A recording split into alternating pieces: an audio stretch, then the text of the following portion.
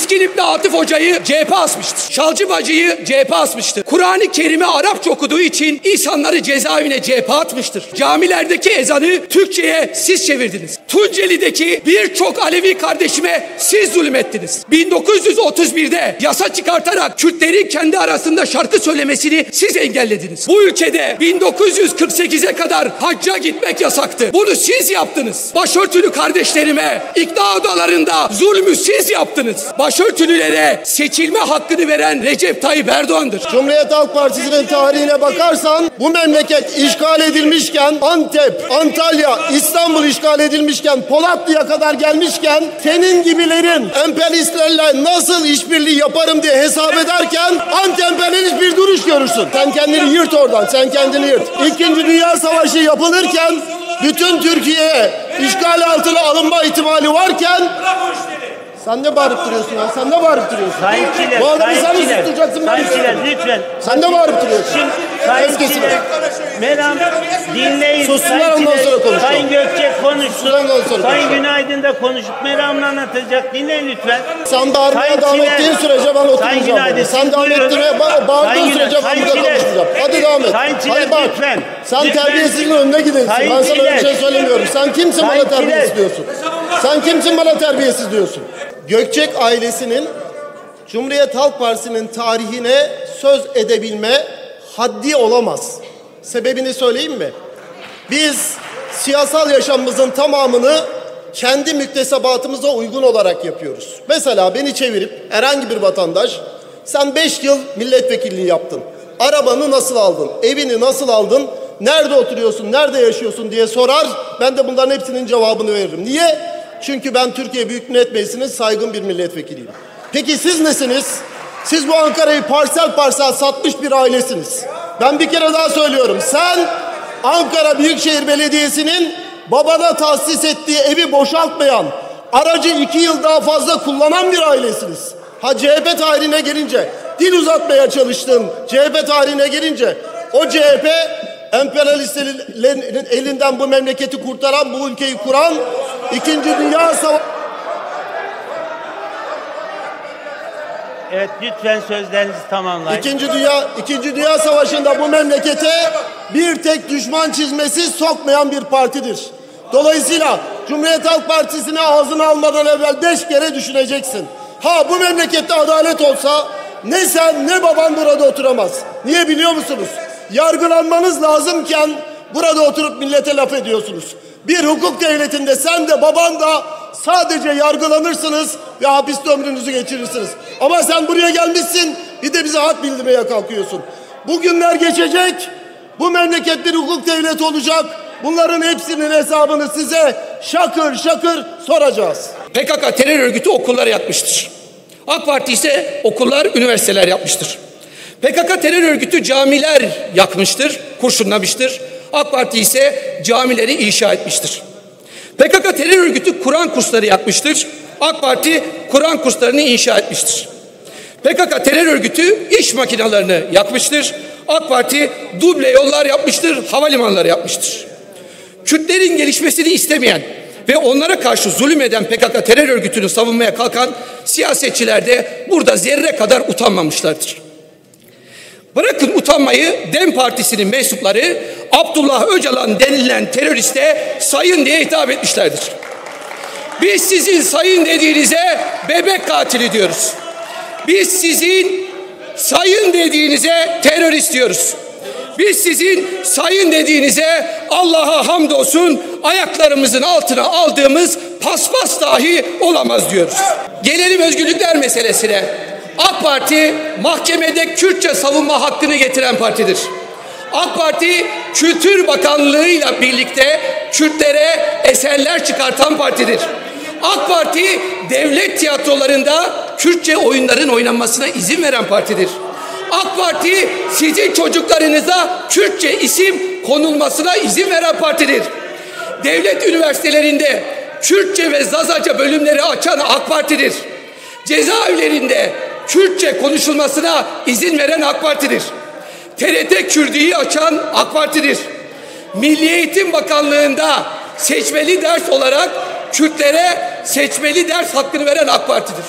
AK Parti bunları savunuyor. Siz PKK terör örgütünü savunuyorsunuz. Babasını görevden alanlar bugün oğlunu alkışlamak için bir sıraya girdiler. Böyle baktım. Dedim buymuş demek ki yani gerçekten parsel parsel Ankara'yı satanların ne kadar desteklendiğine bir kere daha tanıklık ettik. Tane tane söyleyeceğim. Tabutlara yaslanarak siyaset yapmıyoruz. Biz demokratik siyaseti gerçekten inanarak, gerçekten sonuç almak gerçekten sonuç almak için ve büyük bedeller ödeyerek yapıyoruz. Cumhuriyet tarihinin en ağır sorunu olan Kürt sorununu bir yönüyle en ağır sorunu böyle ciddiyetsiz siyaset ve siyasetçiler üzerinden konuşulması talihsiz. Bu nedenle çözülmüyor. Yani iktidar grubunda bu meseleyi konuşacak başka kimse yok muydu? Gerçekten soruyorum ve soruyorum. Kürt düşmanlığı üzerinden kendisini aklamaya çalışıyor. Herkes kirliliğini, pisini, tozunu gelip burada hamasetle ben ne kadar iyiyim, ne kadar güzelim böyle bize bize racon kesiyor. Bu raconları yemeyiz.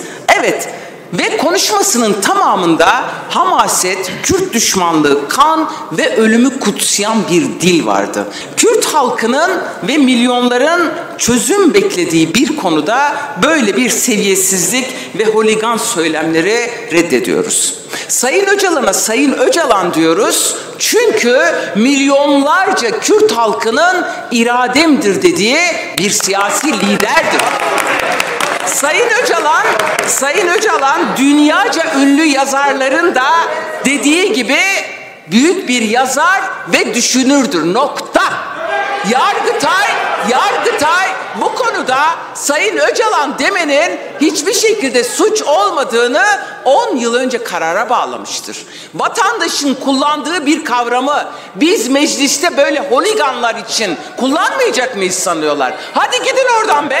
Biz sonuna kadar kullanacağız. Kullanmaya devam edeceğiz. Öncelikli olarak şunu söylemek istiyorum. Her tartışmada babamla alakalı konuları önüme getirerek bu dar görüşünüzden dolayı özellikle sizi kınıyorum. Ancak şunu söylemek istiyorum. Lütfen rica ediyorum dinleyin. Meral Hanım, ben Kürtlere karşı hiçbir zaman sizin söylediğiniz söylemlerin içerisinde olmam. Çünkü AK Parti iktidarı Güneydoğu Anadolu bölgesinde 57 bin tane derslik yapmıştır. Doğu Anadolu bölgesinde 43 bin tane derslik yapmıştır. Bakın sadece Doğu Anadolu bölgesinde Kürt vatandaşlarımızın yaşadığı bölgede 9 tane AK Parti üniversite yaptı. Bütün yıllar boyunca Cumhuriyet tarihi boyunca 3 üniversite vardı hanımefendi. Ayrıyeten lütfen dinleyiniz.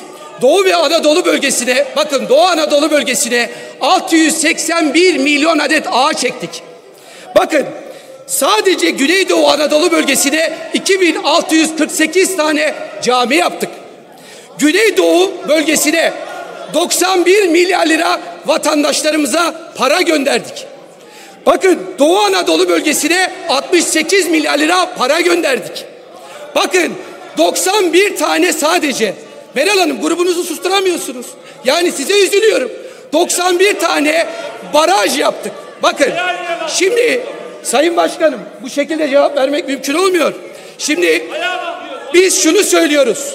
Bir yanda bir yanda barajlar yapan, okullar yapan, üniversiteler yapan, Kürt çocuklarının gelişmesini isteyen, onların okumasını isteyen, özgürlüklerini isteyen AK Parti PKK terör örgütünün dağlara kaçırıp tecavüz ettiği bir terör örgütü.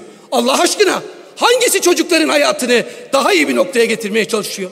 Hangisi Kürt çocuklarının hayatını daha iyi bir noktaya getirmeye çalışıyor? Bunları niye görmüyorsunuz? Yapılan barajları niye anlatmıyorsunuz? Şimdi ben şunu söylüyorum. Ben diyorum ki Meral Hanım bir yanda yaşatmak, bir yanda Kürtlerin hakkını vermek ki bu haklar Kürtlerin zaten hakkıydı. Biz vermedik. Zaten elde etmeleri gereken haktı. AK Parti döneminde bunlar verildi. Bu hakları elinden alan kimdi biliyor musunuz? Sizin ortaklık yaptığınız o Cumhuriyet Halk Partisi'ydi. Bunları bilin. O Cumhuriyet Halk Partisi sizin elinizden aldı. Kürtler kendi aralarında konuşamıyorlardı. Evet, siz onlarla ittifak yaptınız. Kendi aralarında şarkı söyleyemiyorlardı. Bu hepsini bunlar yaptı. Hepsini bunlar yaptı Dilan Hanım. Söylesene. Niye söylemiyorsun? Evet, gerçekler budur. Gerçekleri duymak acıdır. AKP Kürtlere bir şey vermedi. Kürtler büyük bedeller ödeyerek kazandılar.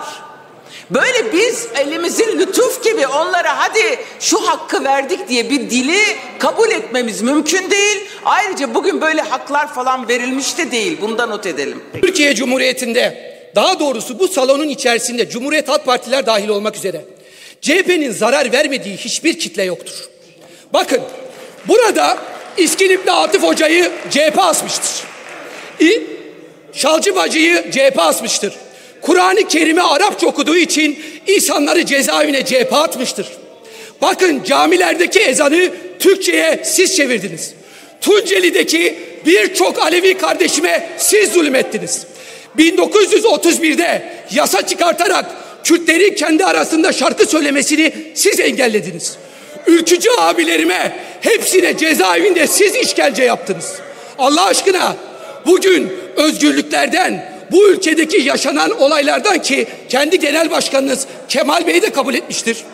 Bu olan hadiselerden sonra bana ahlak dersi verecek en son parti Cumhuriyet Halk Partisi'dir ki en son seçiminizde gördük.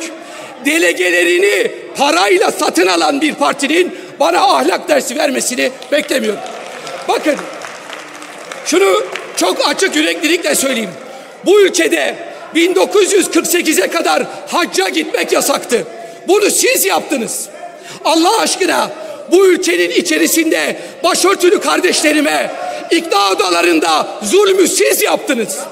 Burada başörtülülere seçilme hakkını veren Recep Tayyip Erdoğan'dır. Bakın şunu unutmayınız. Bu kadar insana zulmeden bir siyasi partinin ki sizler de dahilsiniz. Ya Sebahattin Ali kim öldürdü? Nazım Hikmet'i kim sürdü? Bunların da cevabını verin. Siz özgürlüklerden en son konuşacak siyasi partisiniz. Teşekkür eder saygılarımı sunuyorum efendim. Burada Osman Gökçek adında Türkiye Büyük Millet Meclisi'nin de bir koltuk işgal eden bir kişiye cevap vermek zorunda kaldığım için kendimi çok mutsuz ifade ediyorum. Kendine şimdi getireceğim seni. Şimdi getireceğim seni kendine. Şimdi ifade değil.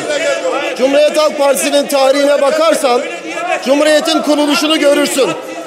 Cumhuriyet Halk Partisi'nin tarihine bakarsan bu memleket işgal edilmişken Antep, Antalya, İstanbul işgal edilmişken Polatlı'ya kadar gelmişken senin gibilerin e, emperyalistlerle nasıl işbirliği yaparım diye hesap ederken anti-emperyalist bir duruş görürsün. Cumhuriyet Halk Partisi'nin tarihinde bunu görürsün. Ha bir şey daha görürsün. Sen kendini sen kendini yırt oradan. Sen kendini yırt. Bir şey daha görürsün. İkinci Dünya Savaşı yapılırken bütün Türkiye'ye işgal altına alınma ihtimali varken sen ne bağırıp duruyorsun ya? Sen ne bağırıp duruyorsun? Sayın Çiler, Bu adamı sen mi susturacaksın? ben Sayın mi Çiler susturacağım? lütfen. Sen ne bağırıp duruyorsun? Şimdi Sayın Kes kesime. Çiler, Meram dinleyin. Sussunlar, Sayın ondan sonra konuşalım. Sayın ondan sonra Sayın konuşalım. Günaydın da konuşup Meram'la anlatacak. Dinleyin lütfen. Burada burada hatipler derdini anlatamıyor lütfen.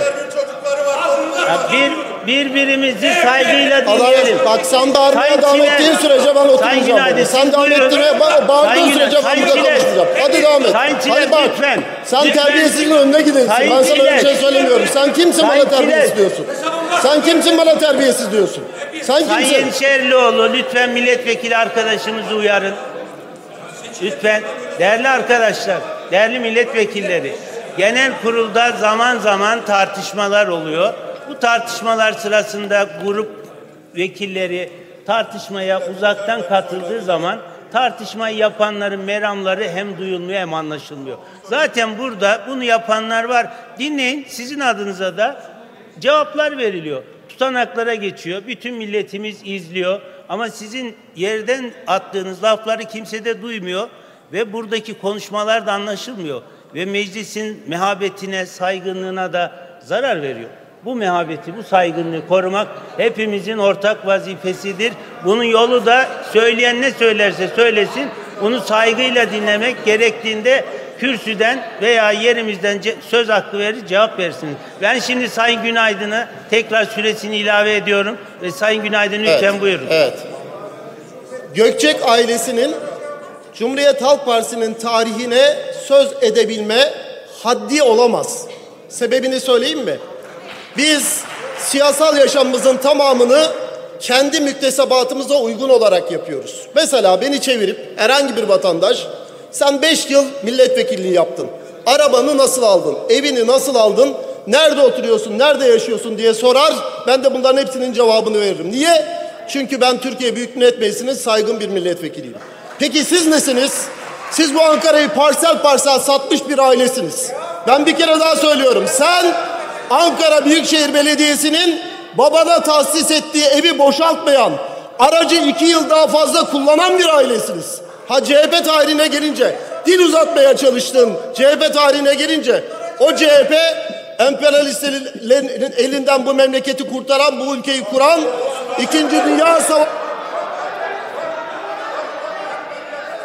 Evet lütfen sözlerinizi tamamlayın. İkinci Dünya İkinci Dünya Savaşı'nda bu memlekete bir tek düşman çizmesi sokmayan bir partidir.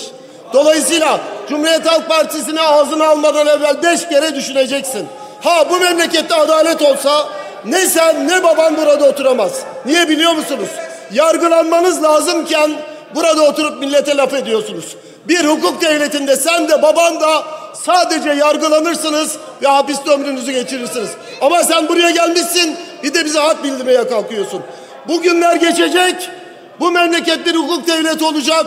Bunların hepsinin hesabını size şakır şakır soracağız.